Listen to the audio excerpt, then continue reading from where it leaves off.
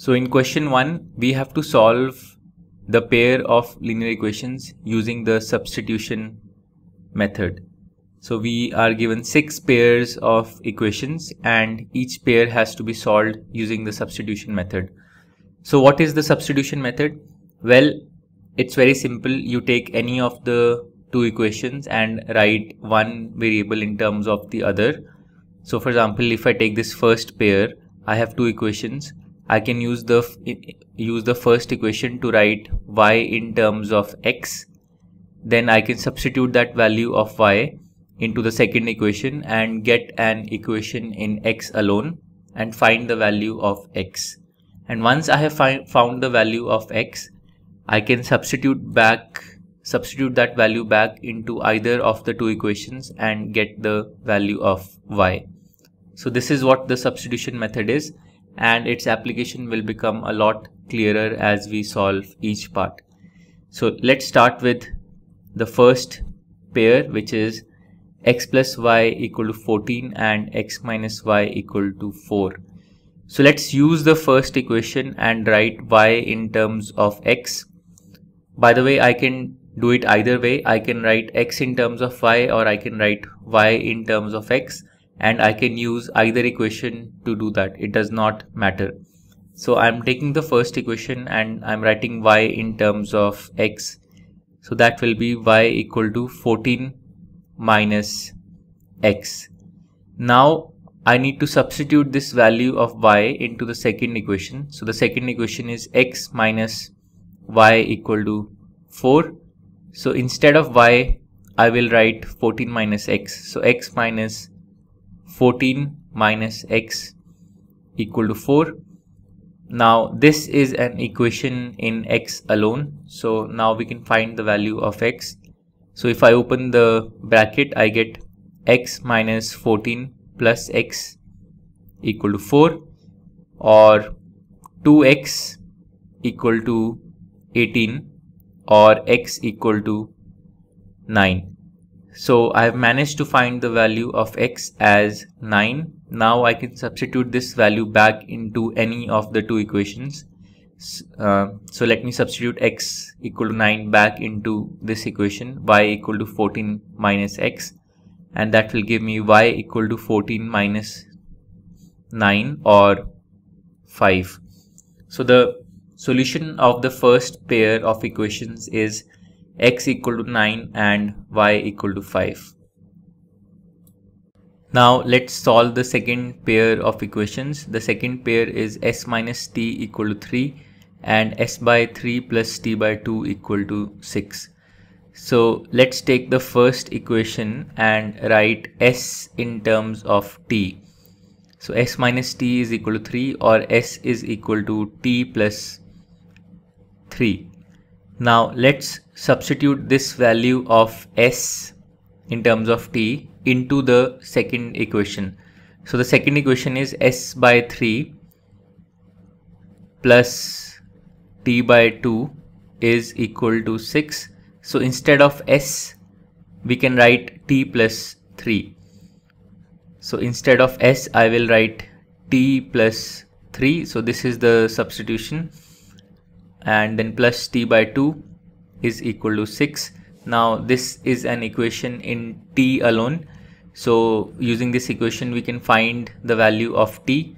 So let's take the LCM so I get 2 times t plus 3 plus 3 times t by 6 is equal to 6 so this gives me 2t plus 6 plus 3t and I cross multiply this 6 to the right side so that gives me 36 and this is actually 2t plus 3t or 5t plus 6 is equal to 36 or 5t is equal to 30 or t is equal to 6.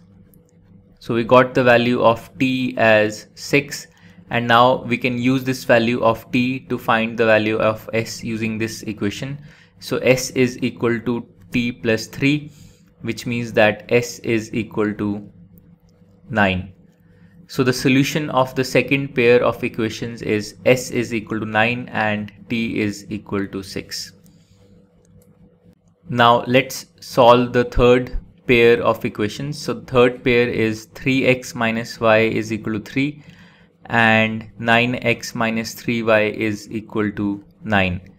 So in the first equation, using the first equation, I can write y in terms of x so I can write y as 3x minus 3 and now I will substitute this value of y into the second equation.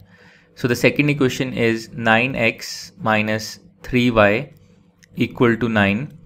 So in this equation instead of y I will write 3x minus 3. So what will I get? I will get 9x minus 3 times and instead of y I write 3x minus 3 so this is the substitution that I'm doing and this is equal to 9 now this equation is an equation in x alone so let's see what we get if we simplify this so we get 9x minus 3 times 3x is 9x and then minus 3 times minus 3 is plus 9 equal to 9 but what's happening here is these terms 9x and 9x they are getting cancelled out. So all I'm left with is 9 equal to 9 so this equation has no variable and it is true and this points to the fact that this pair of equations has infinitely many solutions and in fact if you observe the equations closely the second equation is just the first equation multiplied by 3. So you, you have your first equation as 3x minus y equal to 3. If you multiply this equation by 3 on both sides, you get 9x minus 3y equal to 9. So the two equations basically are identical. They represent the same line when they are graphed. So that is why we are getting this equation free of any variables and this means that this pair has infinitely many solutions. In the fourth part, the pair of equations uh, are 0.2x plus 0.3y is equal to 1.3 and 0.4x plus 0.5y is 2.3. Now before we use the substitution method to solve this pair, one thing we can do to make our work easier is to simplify the coefficients a little bit. So we see that all the coefficients have uh, are decimal numbers with one digit after the decimal point. So if we multiply both equations by 10, this will not change the two equations, but it will turn the coefficients into integers and it will make our manipulation process a little bit easier. So by doing this, the pair of equations can be rewritten as 2x plus 3y equal to 13 and 4x plus 5y equal to 23 and this pair remember that this pair is actually identical to the first pair. All we have done is rewritten the equations by multiplying both the equations by some constant number. Okay now let's solve this rewritten pair using the substitution method. So in the using the first equation let's write y in terms of x. So we have 2x plus 3y equal to 13 which means that 3y is equal to 13 minus 2x or y is equal to 13 minus 2x by 3. Now I will substitute this value of y into the second equation. So the second equation is 4x plus 5y equal to 23. So instead of y, we will write this expression in x. So we will substitute this expression. So that will be 13 minus 2x by 3 and this is equal to 23. Now this is an equation in x alone. So let's solve it to get the value of x. So we add these two terms 4x and this term by taking an LCM of 3. So we get 12x plus here we multiply 5 with 13 minus 2x. So we get 65 minus 10x by 3. So this is equal to 23.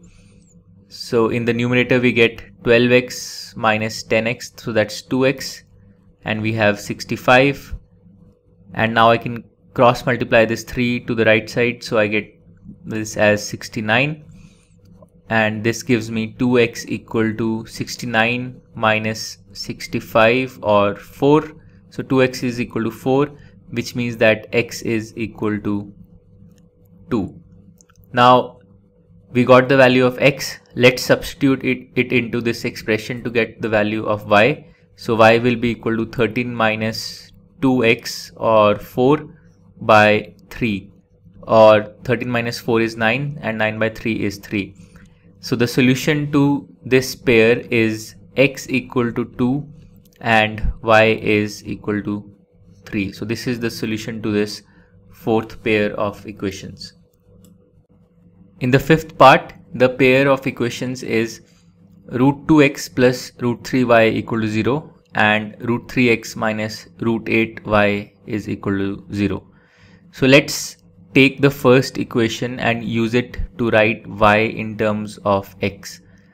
So we have root 2x plus root 3y equal to 0 which means that root 3y is equal to minus root 2x and this means that y is equal to minus root 2 by root 3 times x. So we have written y in terms of x. Now let's substitute this value of y into the second equation. So the second equation is root 3x minus root 8 y equal to 0. So instead of y, let's write this expression in x. So we have minus root 8 times minus root 2 by root 3 x and this is equal to 0. So this equation is now an equation in x alone. So let's simplify it and find the value of x. So we get root 3x plus, so we have minus and minus, so that gives us plus and then we have root 8 into root 2 that's root 16 or 4 so we have 4 by root 3 x is equal to 0. So this gives us, if I take out the factor of x common, so we have root 3 plus 4 by root 3 times x is equal to 0. So some non-zero number times x is equal to 0 which can only mean that x itself is equal to 0 and if x is equal to 0 then y is equal to this non-zero number times x. So y is also equal to 0 so the solution of this pair of linear equations is x equal to 0 and y is equal to 0 in fact you could have concluded that this is the solution directly by observing the given pair. In both equations there is no constant term. And when a linear equation has no constant term and it has both x and y terms but no constant terms then 0 comma 0 will satisfy that equation. In other words if you draw the graph of that equation it will pass through the origin. So in this case both these equations the lines for both these equations will pass through 0 comma 0 or the lines will pass through the origin which means that their point of intersection will be the origin 0 comma 0 and hence the solution is x equal to 0 and y equal to 0. In the sixth part the pair of equations is 3x by 2 minus 5y by 3 equal to minus 2 and x by 3 plus y by 2 equal to 13 by 6. So once again, the coefficients here are fractional. So let's rewrite the two equations so that the coefficients are integers and our manipulation process, our simplification process of substitution, it becomes easy. So the denominators are 2 and 3 in the fractional terms.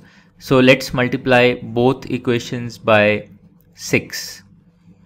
So what will I get if I do that? So the first equation will become 3x by 2 times 6 which is 9x minus 5y by 3 times 6 so that's 10y so 9x minus 10y is equal to minus 12 minus 2 times 6 and then in the second equation I will get x by 3 times 6 or 2x and then y by 2 times 6 so that's 3y is equal to 13 so I have rewritten this pair of equations as this pair.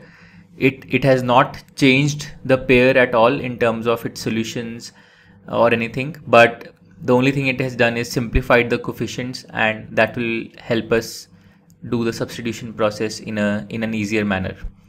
Okay now let's take the first equation of this pair which is 9x minus 10y equal to minus 12 and use it to write y in terms of x.